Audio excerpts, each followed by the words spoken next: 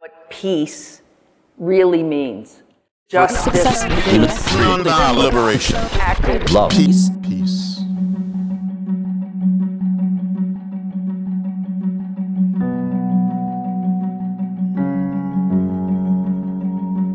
Established in 1959, PRIO takes pride in being one of the world's oldest institutions of peace research.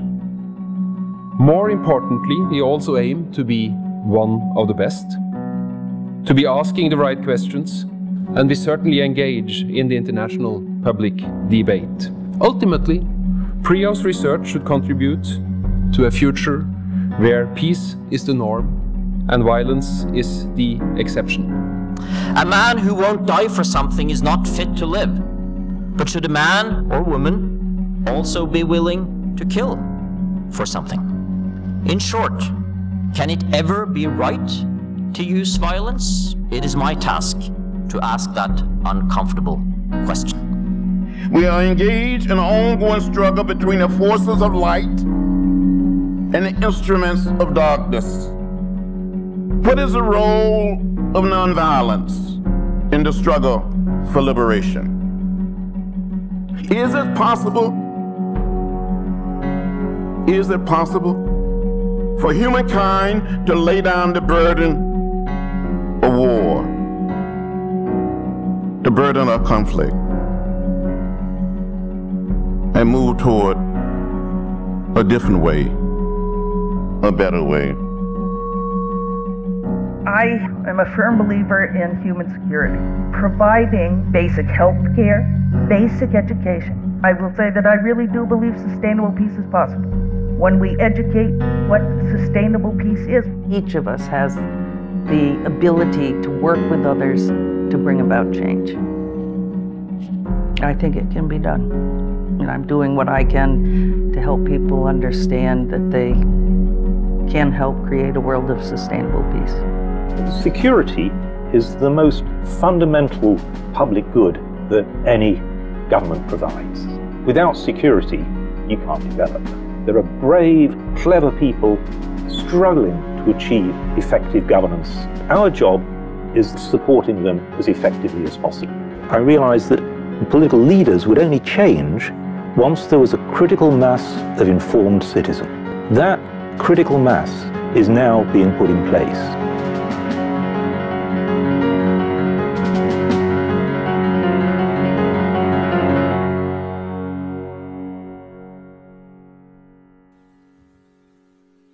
Excellencies, ladies and gentlemen, it's a great pleasure to welcome you to the 2014 PRIO Annual Peace Address. Our guest of honor this year is uh, Sir Paul Collier. He will speak uh, to the topic civil conflict. What are the current risks? And what are the current solutions? What are the realistic solutions? We are living in a time when that is uh, a very timely uh, topic. We are all preoccupied with the changes that we see in the Middle East, the changes that we see in Russia and Ukraine to the east of us, and also uh, the uh, simmering conflicts that we see brewing in parts of uh, East Asia, to take some, but perhaps to take the ones that uh, are potentially about to change the world as we know it. My name is Christian Berg Harpviken. I'm uh, the director of PRIO. I also have the privilege of uh, leading you through this evening. With the annual peace address, PRIO offers itself a gift. We also offer our friends or supporters a gift. The idea is to be inviting one distinguished guest who can inspire us all, who can uh, contribute to renew the agenda that we are preoccupied with, the agenda of peace research, and to inform the public debate on peace and war. The objective simply is for us to be challenged. Are we asking the right questions? Are we pursuing them constructively? How can we further the real world impact of our knowledge? Though Paul, of course, is in many ways a peace researcher himself, there are few people in the world that are better suited for the task opposing us with this challenge than him. He will uh, soon be speaking to us, but I also want to take note that we have with us uh, the, Nor the, Norwegian uh, former uh, Minister of Foreign Affairs, um, Jonas Gahr Støre, currently the head of uh, uh, the Norwegian Labour Party, who will later be engaging with Paul Collier's presentation. I will soon be back to you, but before we get to the uh, intellectual meat, we will offer a little bit of uh, food for the soul. We have invited the Staffan William Olsson trio to uh, share a couple of tunes with them, with us. And Staffan, please introduce what you are going to present us with. Stage is yours. Thank you.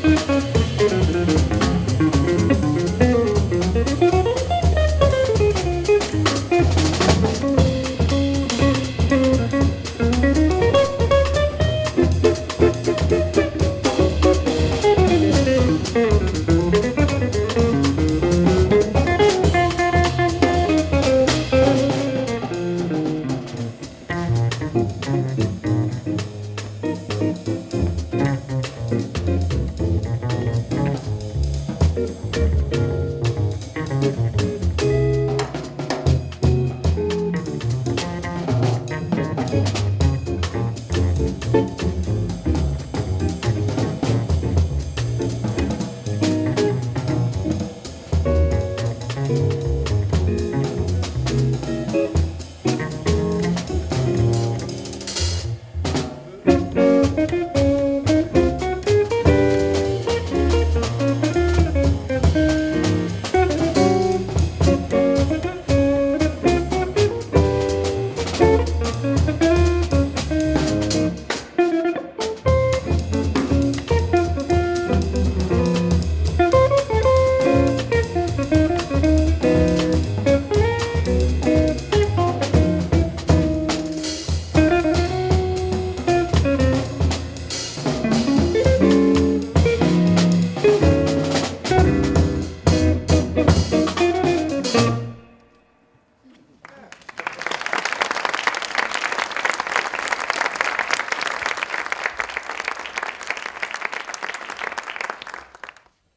as uh, academics go, Sir Paul Collier needs no further introduction. He uh, has been described by um, The Economist as uh, one of the world's most thoughtful economists. His book, books consistently elimin illuminate and provoke. Collier is known as a strong proponent of what has been called the opportunity theory of civil war, in contrast to theories emphasizing grievances and inequalities. He currently serves as a professor of economics and public policy at the Blavatnik School of Government at the University of Oxford, where he also serves as a co director of the Center for the Study of African Economies, a fellow of St. Antony's College, and furthermore, he's a professorial invite at PSIA at the Sciences Po in uh, Paris. If that wasn't enough, he uh, also is an advisor to the Strategy and Policy Department of the International Monetary Fund, an advisor to the Africa region for the World Bank. And importantly, in the context we're speaking here, from 1998 to 2003, he served as the director of the Development Research Department of the World Bank where he pioneered the World Bank's research into the linkages between conflict and development. Collier's research covers the economic causes and consequences of civil war, the effects of aid, and the problems of democracy in low income and natural resource rich societies. His books, which consistently provoke, although Paul told me just before uh, we came in here that uh, he never intends to provoke. For some reasons, there are certain debates where provocation, provocation seems to be inevitable. His books include The Plundered Planet How to Reconcile Prosperity with Nature from 2013, Wars, Guns and Votes Democracy in Dangerous Places from 2009, and uh, The Bottom Billion from uh, 2007 which parenthetically by the colleague minister of uh, our commentator tonight, Jonas Gahr Støre, the then Minister of Development, Erik Solheim, was ranked as his favorite book in the world. Whether it's Jonas's favorite book, we don't know yet, but maybe we'll hear more about that later. In 2008, Paul Collier was awarded the, the Commander of the Order of the British Empire for his services to scholarship and development and he was subsequently knighted in 2014 for promoting research and policy change in Africa. I'm proud to say that Paul is also a long-standing friend of uh, PRIO's. He has been working closely with many of our researchers here. He has been working closely with Nils Petter Gleditsch, with Håvard Hegre, who even did a stunt with him at the World Bank uh, more than a decade ago, and with uh, Scott Gates, to mention a few. So it's good, Paul, to have you here for this occasion. We are looking very much forward to the thoughts that you have to share with us tonight. We are uh, honored that you will be with us. We know you're just off the plane from South Africa, but you do look amazingly fresh, and uh, we are certain that you'll manage to inspire us. Please, the floor Thanks is yours. Very much. Thank you. Thank you.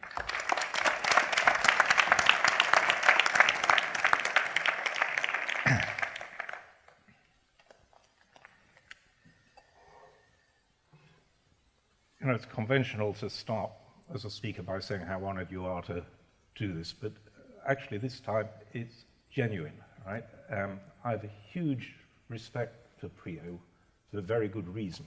Right? This is uh, a fabulous institution. Um, I built a research institute on Africa, not as old or as big as PRIO by any means, but over 25 years, I've learned that it's a long, slow business building a research institution. Um, they're easy to destroy, um, but there's no substitute for gradually building them up. And so I just congratulate you on what you've achieved.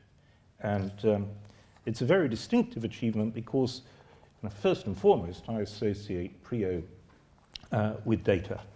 Um, the, the notion that you build up quantitative information and you can then convert information into knowledge.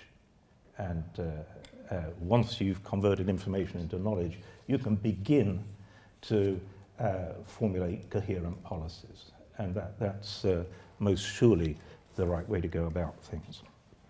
Um, during the half century you've been doing that, what we've experienced has been the great moderation. Um, uh, peace has gradually spread. And um, the, the, very broadly, the, the foundations of that spread of peace have been economic prosperity and democracy. And that's all that's sort of reasonably well established, I think. Um, but um, it isn't happening now. Um, and so, what I'm going to be arguing, and here I'm going to be absolutely out on a limb, um, and uh, for once, I'm well aware that what I'm going to say is controversial. Um, um, but um, I'm going to argue that um, we're actually experienced a point of structural break where that recipe of prosperity and democracy spreads peace is just proving no longer to be true. Um, if I'm right that we're basically at a structural break, then unfortunately data won't help us for a while. Uh, structural breaks are the point at which uh, data into knowledge breaks down. Um, the, if you look at the world today, um, you know, there's a sense of where do we start with uh, the, the sense of, uh, of conflict and risks of conflict. And I'm not going to be comprehensive. Um, it would be absurd to be comprehensive. Um, what I'm going to focus on is one very disturbing trend, I think of it as a trend, and that is the growing areas of insecure territory, growing areas where you don't have a recognized government in secure control of the territory. And uh, what have we seen recently? Mali, Central African Republic. You know, I, I sort of, the bottom billion was in a way um, modeled around the Central African Republic, which I've just been to when I wrote the book. And I, one of the lines in the bottom billion is some countries are not just falling behind, they're falling apart. Um, and at the time I went, 10, 11 years ago, the Central African Republic was falling behind and now is falling apart. Um, so Mali, Central African Republic, northeast Nigeria, Somalia, of course, uh, East Ukraine, Libya, um, Syria, Iraq, Afghanistan, most alarming of all, Pakistan.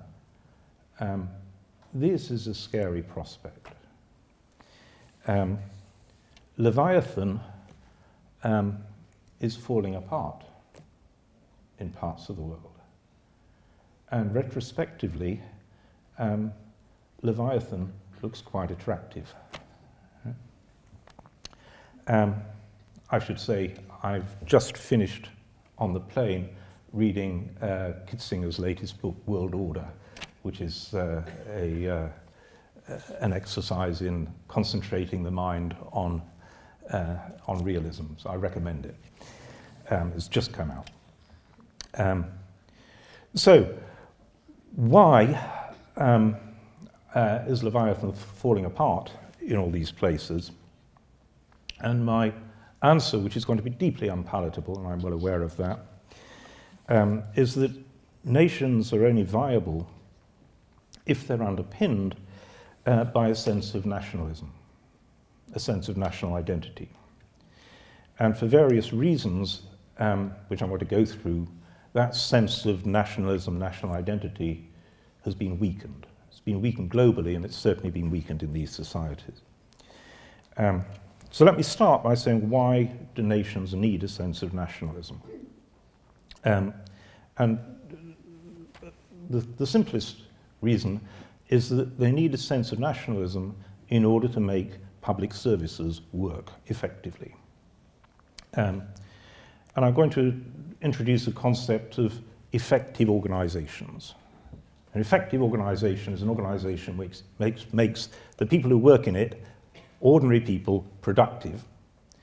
And um, it does so by reconciling scale with motivation. We know that to make people productive, you've got to have scale, but as you get an organization bigger, that creates the problem of how to motivate people. And uh, economists for years have been coming up with the answer in order to motivate people, you, you do it like carrots and sticks, incentives. Um, and the latest thinking in economics recognizes that that's uh, really a very limited approach to motivation. Um, there's a brilliant book by Nobel laureate in economics, George Akerlof, um, called Identity Economics. And what I say will in part be drawing on George's work. It's a very short little book, it's really, really good. Um, why does this matter for the countries in question? Because not only do they not have effective organizations in general, effective public organizations, um, they don't have effective armies. Um, and just, uh, just look at uh, what's happened recently. Um, the, the government army in Iraq. Billions of dollars in money, massive amount of equipment, massive effort at training and it completely falls apart. It doesn't even fight against just a relative handful um, of, uh, of opponents. Um, extraordinary. They, Iraq loses its second city, city of two million people, without a fight, having spent all that effort and money on a national army, which just runs away.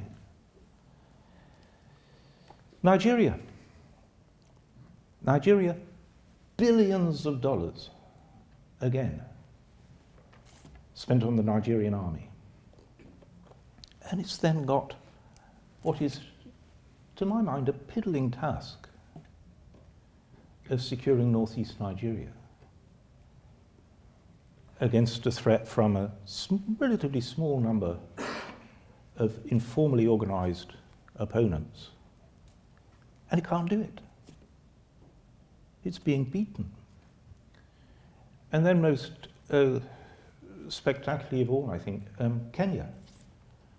Um, you remember the, the awful event of the shopping mall, um, where the army is called in to, um, to just protect ordinary citizens in that shopping mall who are being, who are being murdered by a group of terrorists.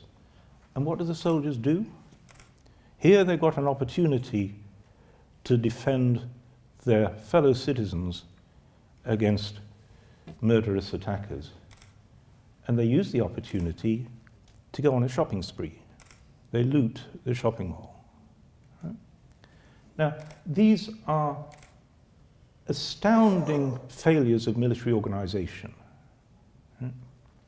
Um, and to show how astounding they are, I'm going to do a detour into some social psychology of how motivation works in organizations, in public organizations, and indeed in most private organizations.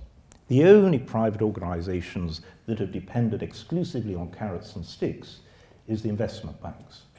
And look where that got them. Um, so, the uh, effective organizations work by um, building motivation by getting people to internalize the objectives of the organization. That's the key move, internalizing the object, so the organization's objectives become mine. Um, and that's done, that process of internalization is done through three building blocks, um, identities, narratives, and norms. So um, with an identity um, in a military, it's the, it's, the, it's the step which, where the soldier takes the step, I am a good soldier. That's the move of identity. That's the key point in Akerlof. It's that I am a good whatever. Hmm? The narrative, and militaries have, have a uniquely favorable narrative that they can offer their workforce. And that narrative is your role is to defend the country, to protect your fellow citizens. Hugely attractive narrative. Um, I've got a teenage boy, and like most teenage boys, um, what he really wants to do um, is play video games in which he plays at shooting people, defending people, basically being in an army.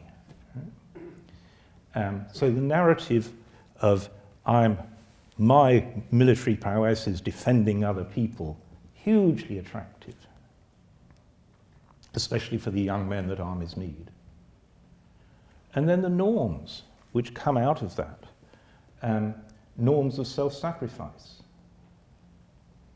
You know, armies are in most developed countries are astounding in that you take perfectly ordinary young men and they're willing to die for that. That becomes the norm. They're willing to die for the organization. Um, even the investment banks with their millions of dollars of bonuses seldom get their workforce to die on their behalf. Um, that set of narratives, identities, and norms is self reinforcing. It's an equilibrium, and it's delivered through social network. And an army has a very bounded social network, which is easy to control. And so the leadership of an army, or for that matter, the leadership of a country, is in a, it's, it's much easier to build that identity narrative and norm in an army than it is to build it, say, um, in the uh, teaching profession. So the, the military is the easiest part of the public sector to, to get motivated. Um, in a nutshell, an effective organization is a locally stable constellation of identities, narratives, and norms, and networks that makes the workforce productive by reconciling scale with motivation. And the countries that I've listed above um, are desperately short of effective public organizations. Um, it's not just their armies don't work, but the whole of their public sector doesn't work. But as I say, the, the army is the easiest bit to get to work. So if the army isn't working, you know that the rest of the public sector isn't working. You know the teachers won't be showing up for school, the nurses will be stealing drugs, and so on and so forth. But at heart, at bottom, this is a problem of a failure to internalize the objectives of the organization. Now, the, um, in order to get that internalization, um, an identity of I'm a member of this, I, I, I belong to the nation, and a narrative of defending the nation is hugely useful and a norm of sacrifice for the nation. And so, lacking that sense of national identity, it's very hard to get any of these uh, clusters established that build an effective organization. Um, the, um, if you like, just about, uh, 10 years ago I suggested the idea of a conflict trap, and in a way there's a, uh, an ineffective state trap that um, if you start without national identity, your public sector organizations don't work. But then if your public sector organizations don't work, um, it's that much harder for citizens to buy into national identity. There's not much to be proud about. Um, I should say to PRIO, in, in order to study this phenomenon, um, the techniques you need are techniques of anthropology combined with experimental social psychology. And it's, it's no surprise that the, I think the two best recent books in conflict studies, um, one is um, Morris' book, War, What's It Good For? He's an anthropologist. Um, and the other is the, the Better Angels of Our Nature um, by Steve Pinker, uh, a social psychologist. Um, so, what's gone wrong with building that sense of, of national identity um, in, in these societies? Um, the, uh, and my argument is that uh, in the last 20 years or so, um, the, the, sense of national identity has been um, superseded um, in, uh, in, so, in, some countries by the rise of global ideologies. And by global ideology, I mean a, an ideology which purports to, uh, to have universal applicability. Um, now, it's ironic because 20 years ago we got rid of one of these damn global ideologies. Um, communism, you know, it, it imploded. Um, uh, and so it looked as if we were liberated at last from these global ideologies. Um, but now I think we've got two um, new ones. And the, the first is very obvious, is, is radical Islam. Um, uh, and I want to suggest that radical Islam is not due to the West. It's not something that, in any sense, we have produced. I think it's exogenous to, uh, to, to, our own behavior. Um, um, and actually, it's a very important psychological mood for people in the West to realize that not everything that happens in the world is due to what we do. Right? Um, there are th there's stuff that happens out there um, which affects us, but which we didn't cause. Right? And radical Islam's one of them. Right? Um, radical Islam, if you decompose it into an identity, a narrative, a norm, delivered through a social network, is hugely attractive to a minority of young men. Hugely. It's, it, it, it's the same sort of appeal as, as, as the National Army, in effect. It has a, a compelling identity that people can uh, adopt, a compelling narrative which explains what, what how the world works, and a compelling set of norms which makes them feel really good about themselves. Um, and of course, uh, a ready-made electronic social network that, uh, that, that, can be spread. Um, the, what that does is make uh, the military forces that it builds highly effective because they're highly motivated. Um, you just have to think of ISIS versus the Iraq army to, to see that, or Boko Haram uh, versus the Nigerian army.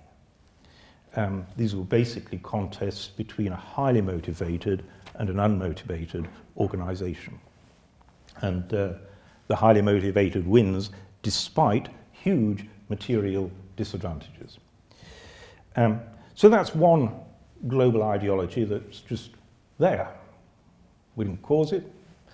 Um, I'm not even sure we can do that much about it because, actually, look, the, the recruits um, fighting for ISIS are drawn from pretty well every Western country. So the, the feasible range of variation in Western policy doesn't really seem to, to affect that, uh, the recruiting very much. Um, so I'm going to be more interested, um, that's just something we have to live with and contend with, um, but I'm going to be more interested in the, the rise of the other global ideology. And this is us because it's our ideology. Um, and because it's our ideology, we find it hugely attractive. Um, not just attractive, but compelling. So compelling that that's why we think everybody should adopt it. The problem with global ideologies is that when it's yours, it's hugely seductive to make that move, that because it's so obviously right, um, everybody should buy into it. And if they don't buy into it, we're going to make them buy into it. Um, and that, that, that narrative, of course, is the espousal of democracy and human rights. And I'm not against democracy and human rights. Right? I'm part of that um, uh, uh, ideology, but I've come to balk at uh, saying it's got to be a global ideology. Um, the um, uh, we do try and impose it as a global ideology. We enforce it by aid.